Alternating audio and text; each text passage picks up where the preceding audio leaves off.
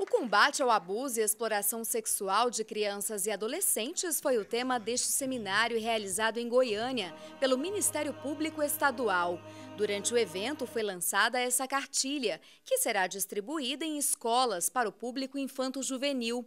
O objetivo é incentivar a prevenção da violência sexual. A gente sabe que, infelizmente, ainda impera a lei do silêncio.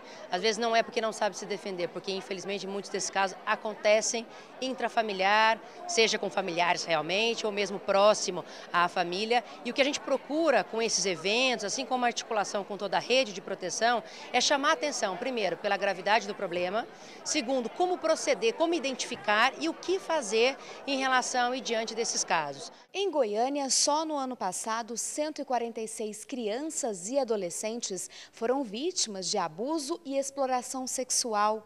Na maioria dos casos, os autores dos crimes são pessoas de dentro da própria família, como pais, padrastos, tios e avós. Mas as autoridades também têm registrado muitos casos de violência envolvendo até mesmo os vizinhos das crianças. Há 35 anos, Agnaldo Lourenço trabalha na área de defesa dos direitos da criança e do adolescente. Para ele, ainda existem muitas dificuldades que impedem o combate mais efetivo do abuso contra menores.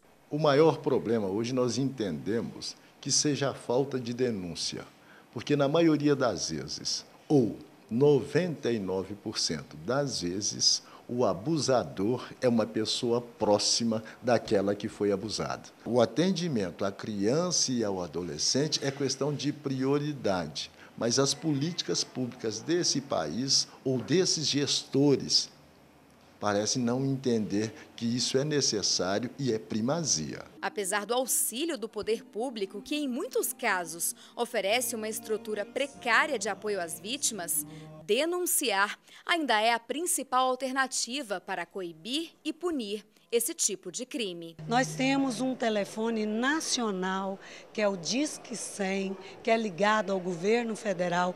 Todas as denúncias, mesmo anônima, no Disque 100, ela é investigado.